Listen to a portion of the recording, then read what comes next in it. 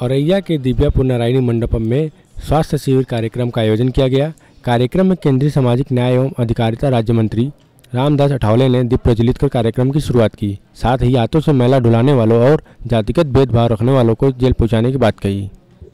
देश के नागरिक हैं तो अछूत हमें समझना ठीक नहीं है। अगर हमें कोई अछूत समझने की कोशिश करेगा तो उनको जेल में डालने के लिए एट्रोसिटी एक्ट है। भारत सरकार के तरफ़ से हाथ से महिला ढोने की प्रथा पर पाबंद लगाने का निर्णय 2013 में हुआ था और उसका कानून भी बना है और उसको आइडेंटिफिकेशन हमने पूरे देश भर में किया- है। इसमें तेरह हज़ार तक मतलब उत्तर प्रदेश में उसकी संख्या सबसे ज़्यादा है और उरैया ज़िले में 510 तक की संख्या आइडेंटिफाई हो, चुकी है। नौकरी के लिए तो अभी जहाँ जहाँ म्यूनसिपालिटी में नौकरी होती है वहाँ भी उनको दी जाती है।